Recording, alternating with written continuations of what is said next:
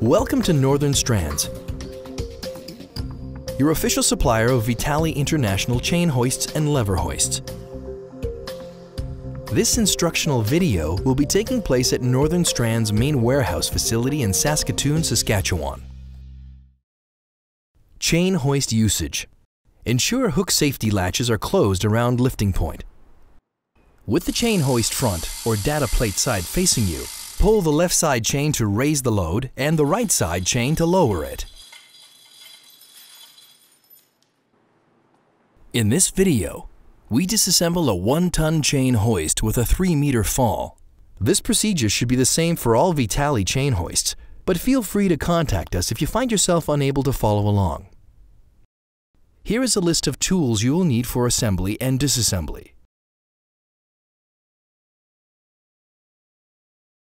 Vitali International Chain Hoist Service Instructions Chain Hoist Disassembly Start this process with the backside of the unit facing up.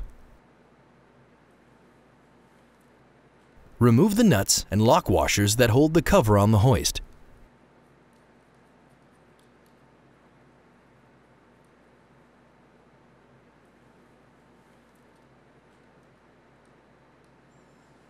The back cover can now be put aside.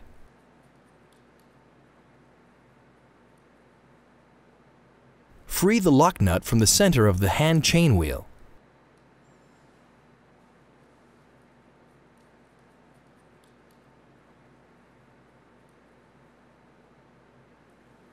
Take the hand chain off the hand chain wheel and set it aside.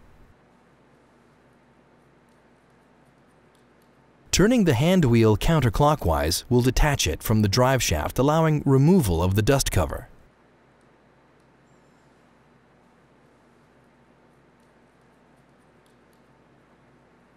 Unload brake discs and ratchet disc.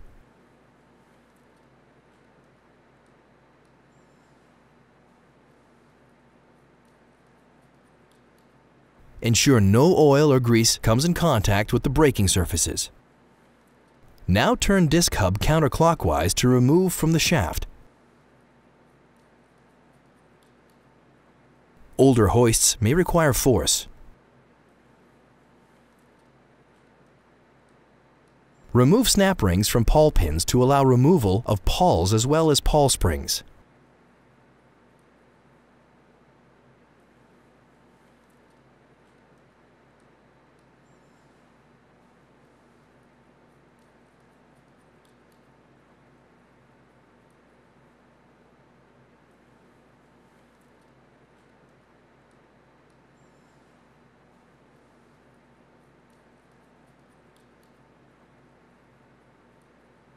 Pull out cotter pin on the top hook shaft.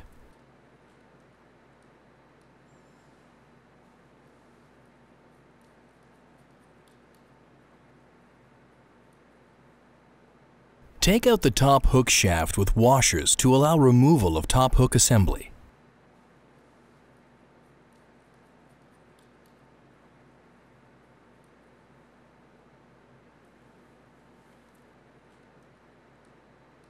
Flip hoist over to gain access to the geared side.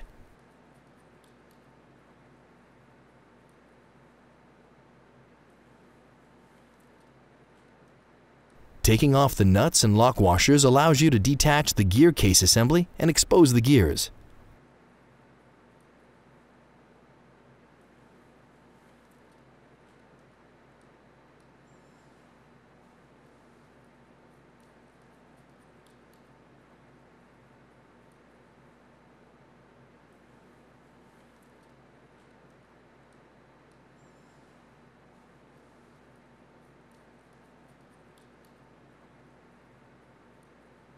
Remove double seal ball bearing from drive shaft.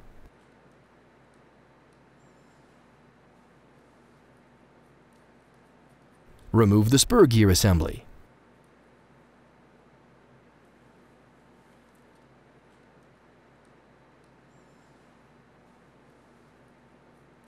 Extract the snap ring on load gear and slide the load gear off the spindle.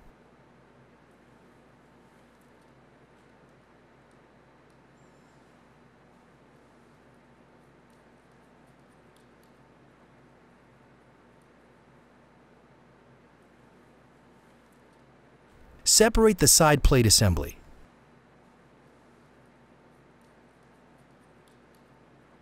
Tap out the double seal ball bearing from the gear side plate assembly.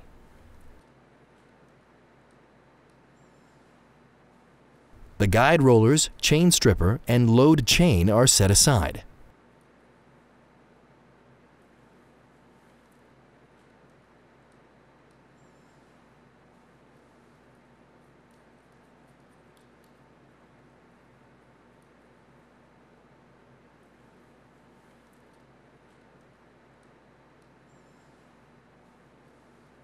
Remove the split pin from chain anchor pin.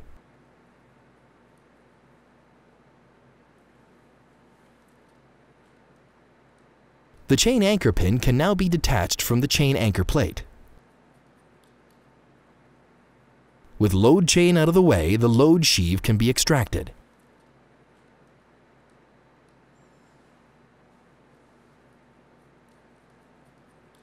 Remove the C-clip from the load sheave.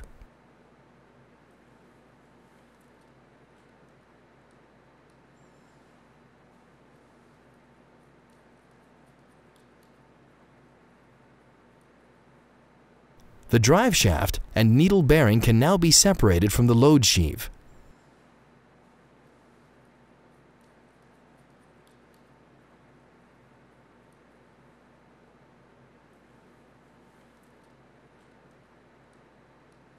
Tap out the double sealed ball bearing from the wheel side plate assembly. Remove the lock nut on bottom hook shaft from the bottom hook assembly.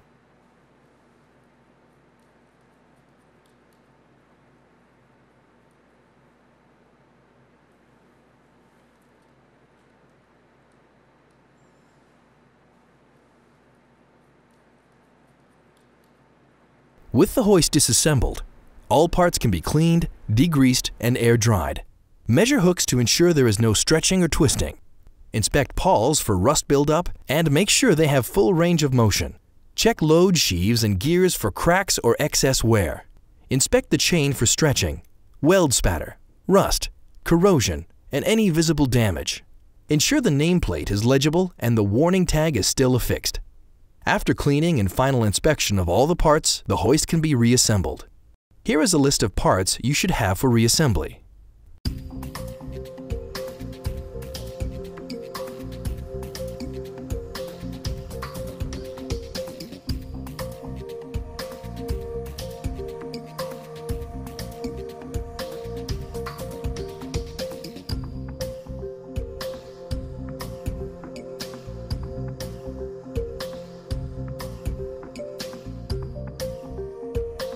Chain hoist assembly.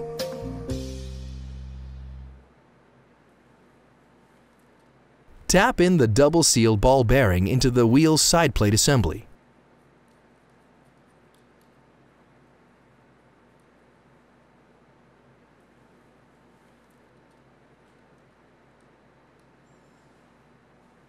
Insert the greased drive shaft and needle bearing into load sheave.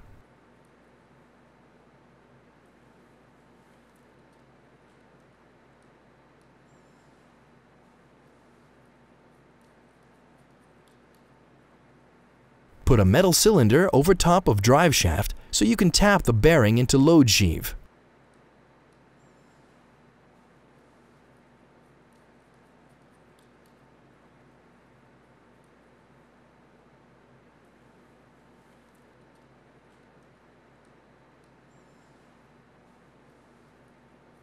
Install C-clip into load sheave to hold needle bearing in place.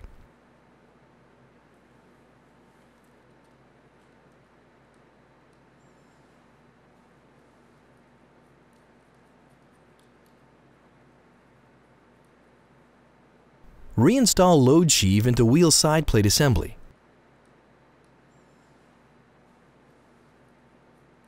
Position the load chain ensuring the welds on links are facing out.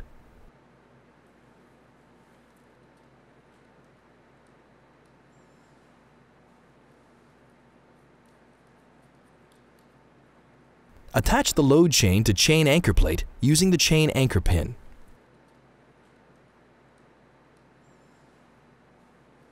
Install split pin into chain anchor pin.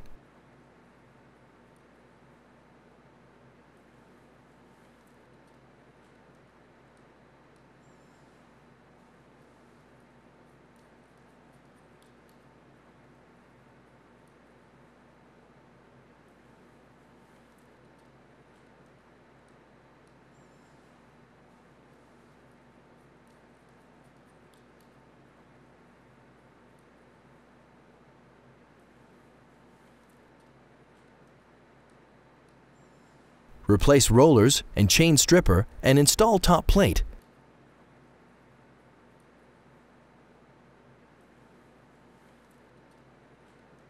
Ensure components are properly lined. Tap the double seal ball bearing into the gear side plate assembly.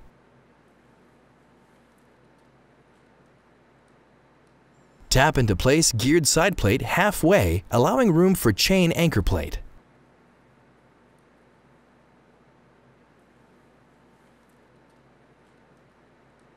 Insert the chain anchor plate in between the plates.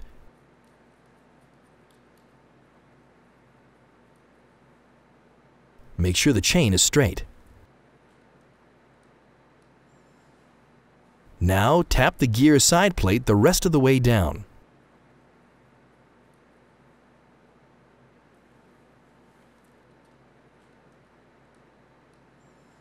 Position load gear on load sheave and secure with a snap ring.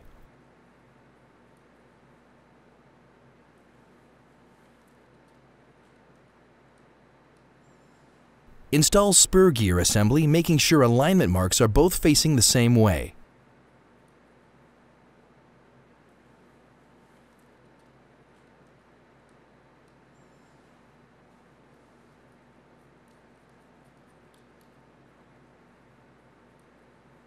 Be sure hoist gears are properly greased. Tap in double-sealed ball bearing into gear case assembly.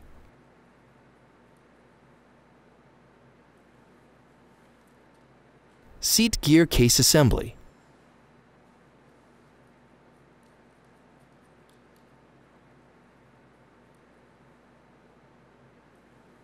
Apply anti-seize to the stay bolts.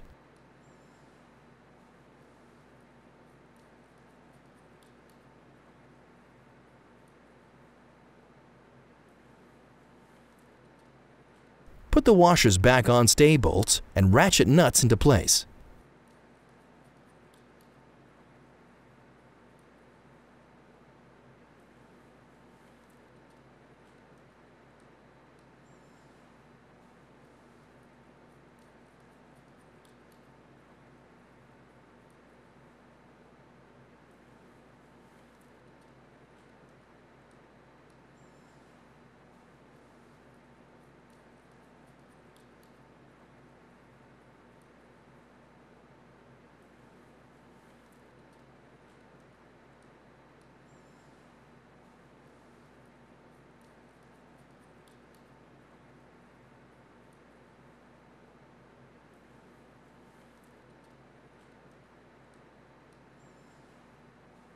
Flip hoist over and apply anti-seize to stay bolts, pawl pins, and drive shaft.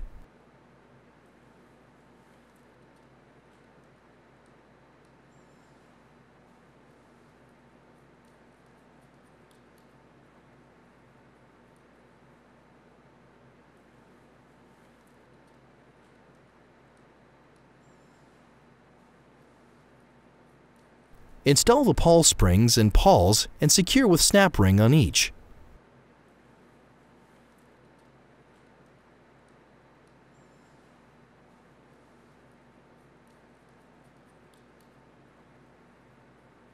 Install new snap rings onto pawl pins.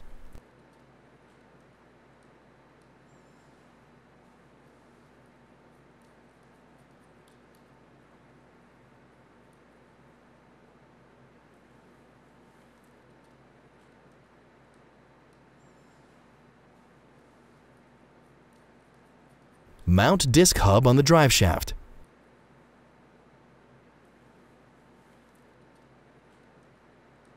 Put friction disc on the disc hub followed by the ratchet disc.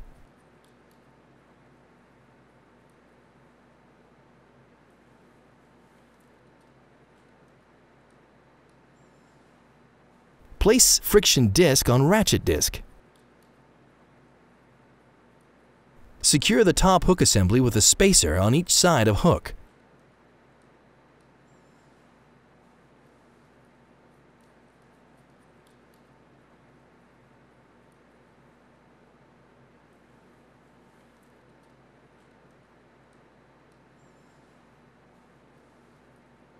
Slide the pin through the plates and secure with cotter pin.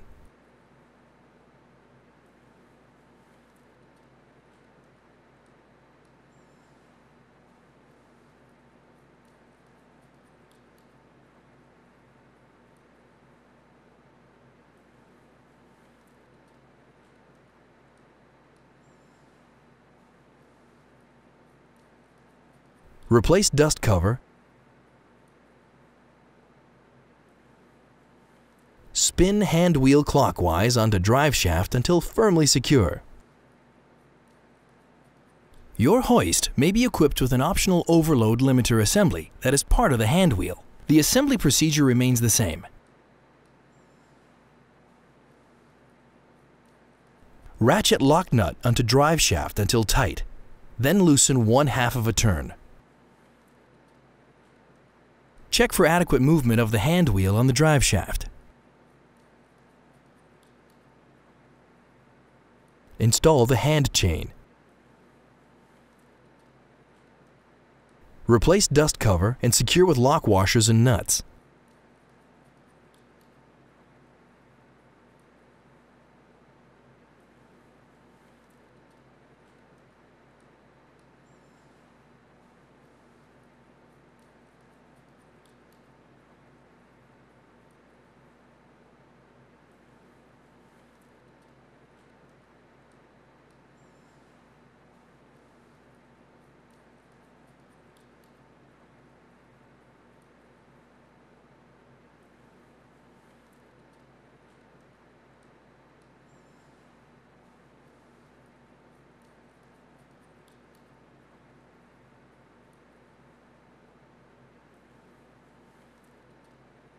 Install bottom hook assembly onto load chain. Use a ratchet to affix lock nut.